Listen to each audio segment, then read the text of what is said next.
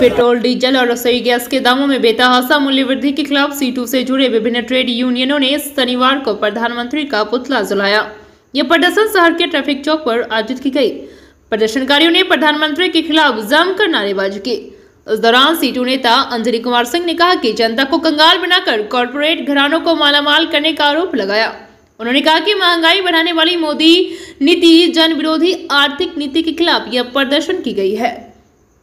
उन्होंने बताया कि पेट्रोल, डीजल और रसोई गैस के दामों में जानलेवा वृद्धि तथा लगातार बढ़ती महँगाई के खिलाफ मार्क्सवादी कम्युनिस्ट पार्टी और सीटू से जुड़े श्रमजीवी फुटपाथ दुकानदार संघ बिहार स्टेट ऑटो चालक संघ एवं श्रमजीवी छोटा परिवहन संघ के संयुक्त तत्वाधान में मूल्य वृद्धि एवं महँगाई के, के लिए जिम्मेदार भारत के प्रधानमंत्री नरेंद्र मोदी का पुतला दहन कार्यक्रम ट्रैफ़िक चौक पर आयोजित की गई। पुतला दहन कार्यक्रम से पूर्व बेगूसराय रेलवे स्टेशन चौक से ट्रैफ़िक चौक तक एन एच इकतीस पर प्रतिवाद मार्च का आयोजन किया गया जिसका नेतृत्व सीटू राज्य सचिव सुरेश प्रसाद सिंह सीटू नेता एवं बेगूसराय जिला पार्षद अंजलि कुमार सिंह ऑटो चालक संघ नेता अमरदीप कुमार सिंह, पंकज कुमार सिंह, छोटा परिवहन संघ नेता रमेश मिश्र, गौरी महतो, श्रमजीवी फुटपाथ दुकानदार संघ नेता मोहम्मद इर्दीश। पेट्रोल, डीजल और रसोई गैस के दामों में लगातार बेतहासा जानलेवा वृद्धि के खिलाफ हम लोग मोदी सरकार, प्रधानमंत्री मोदी का पुतला दहन कार्यक्रम आयोजित किया। आप जानते हैं कि हमारा देश लगातार महँगाई की मार को झेल रहा है।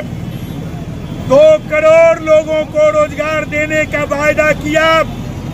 कोरोना काल के संकट में कई करोड़ लोग बेरोजगार हुए जो पहले से रोज़गार प्राप्त थे।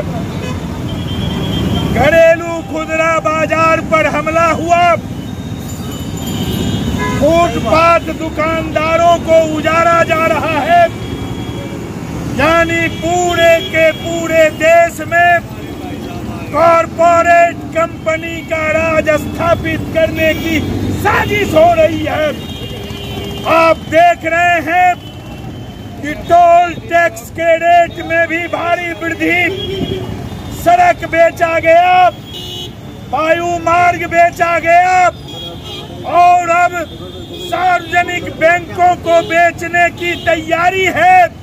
रेलवे बेचा जा रहा, इसलिए कॉरपोरेट भ्रष्ट नीतियों को लागू करने के लिए कॉरपोरेट का यार मोदी सरकार को अपदस्थ करने के लिए आज प्रधानमंत्री का पुतला दहन कार्यक्रम हम लोग यहाँ आयोजित करने जा रहे हैं।